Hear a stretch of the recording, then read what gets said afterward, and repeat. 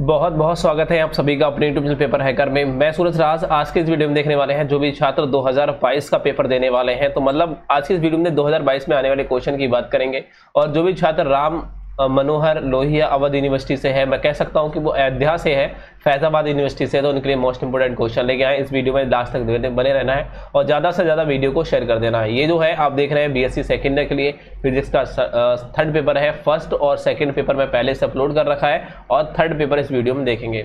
एक हमने new channel को लॉन्च किया है। आप उस चैनल को सब्सक्राइब कर लीजिए। उसका नाम है खिलाड़ी भैया एक्स वाई जेड उसका लिंक मैंने डिस्क्रिप्शन बॉक्स में दे रखा है। हमारे न्यू चैनल को आप सब्सक्राइब कर लीजिए, जिसने भी सब्सक्राइब नहीं किया है, ठीक है? चैनल को सब्सक्राइब कर लेना लिंक डिस्क्रिप्शन बॉक्स में दे रखा है। यहाँ बोला गया है, प्रकाश, पहला देखिए आप अपने बुक नोट्स गेस्ट पेपर को ओपन करेंगे और जो जो क्वेश्चन मैं आपको बता रहा हूँ, उन क्वेश्चनों को ही पढ़ना है। इन क्वेश्चनों को आप याद करके पिचासी प्लस लाएँगे। मतलब कि दो के टॉपर बनने वाले हो, याद रखना है तो आप चैनल को सब्सक्राइब ज़रूर कर लेना पेपर हैकर यूट्यूब चैनल को। देखो, यहाँ बात करने वाले प्रकाश वैद्युत उत्सर्जन के नियम, पहले क्वेश्चन को आप याद करेंगे। प्रकाश कह सकते हैं, प्रकाश वैद्युत उत्सर्जन के नियम के परिभाषा के बारे में, जिसे हम दूसरी भाषा में हम प्रभाव का नियम भी बोल सकते हैं। क्योंकि प्रभाव का नियम किस तरीके से? आइंस्टीन की समीकरण को आप याद करेंगे। आइंस्टीन की समीकरण इज़ मोस्ट इंपोर्टेंट है। उसके बाद में आता है डी ब्रोंगली तरंग, जिसे परिकल्पना भी बोल सकते हैं। और ये मोस्ट इंपोर्टेंट है, आप याद करेंगे डी ब्रोंग तरंग।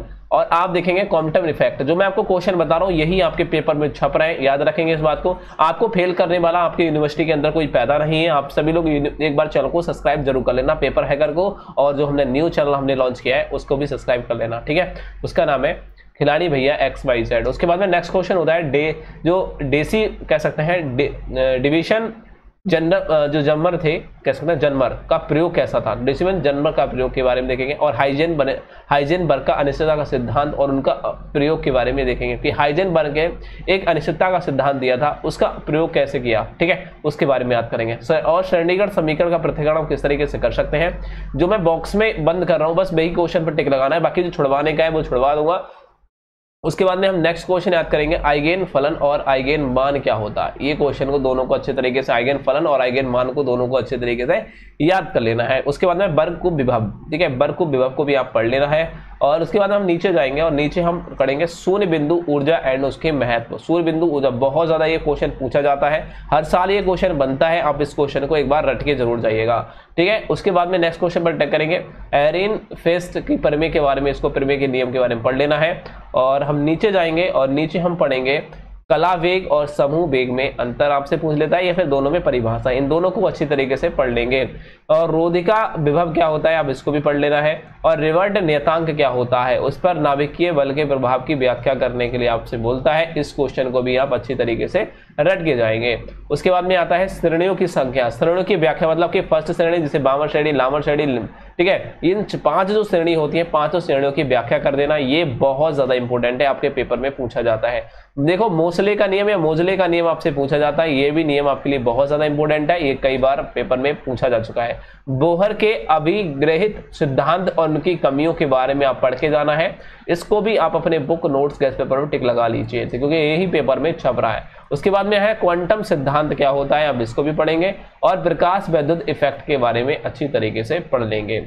नीचे हम जाएँगे, जो क्वेश्चन बता रहा हूँ, वही क्वेश्चन को पढ़ना है, बाकी कुछ और पढ़ने की ज़रूरत नहीं पड़ेगी। यहाँ कह रहा है, प्रकाश उत्सर्जन सेल की परिभाषा पढ़ लेना, प्रकाश वोल्टेज सेल की रचना और उनकी कार्यविधि के बारे में पढ़ लेना है। ये आप देख रहे हैं ना, ये बहुत इंपॉर्टेंट क्वेश्चन है। सतत एक्सकरण क्या होती है, उसके लक्षण के बारे में बताइए। ये वेरी वेरी इंपॉर्टेंट है, आप इसको पढ़ के जाइएगा। वेरी वेरी इंपॉर्टेंट है, ठीक है? एल एस के दो संयोजक इलेक्ट्रॉनों के बारे में आपको याद कर लेना है। और लास्ट में हम आपसे कहेंगे कि आप ये वाला क्वेश्चन सूझ मतलब व्याख्या छोड़ दीजिए। शुद्ध वर्णक्रम के नियम, वर्णक्रम का नियम जो होता है, कह सकते हैं, शुद्ध घर्णन स्पेक्ट्रम का नियम जो होता है, उसको पढ़ लेना है। वैद्युत प्रकाश विभव क्या होता है? वैद्युत प्रभाव कह सकते हैं। प्रकाश वैद्युत प्रभाव क्या होता है? अब इसको पढ़ेंगे। और कालफलन एंड दहली, दहल जो, कह सकते हैं, दहली जो आवृत्ति होती है, ये तो बहुत ज़्यादा पूछा जाता है। अब इसको एक बार पढ़ के ज़रूर जाइएगा। ठीक है? और तरंग फलन क्या होता है? तरंग फलन के बारे में आप याद कर लेंगे, ये मोस्ट इंपोर्टेंट है। उसके बाद आता है, एक क्वेश्चन आता है आपसे कि जो विकरण की दुधहरी प्रवृत्ति पर एक टिप्पणी लिखिए आप इसको भी एक बार पढ़ के ज़रूर जाइएगा। यदि क्वेश्चन पेपर में आ जाए तो आप उसको बना बना के ज़रूर लिखाना।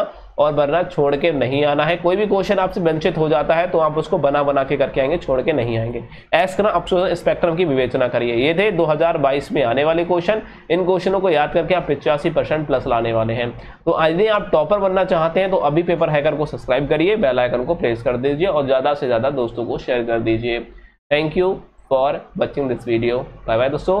और हाँ जो हमारा न्यू चैनल खोला है, उसको भी आप सब्सक्राइब कर लीजिए। लिंक डिस्क्रिप्शन बॉक्स में दे रखा है। Thank you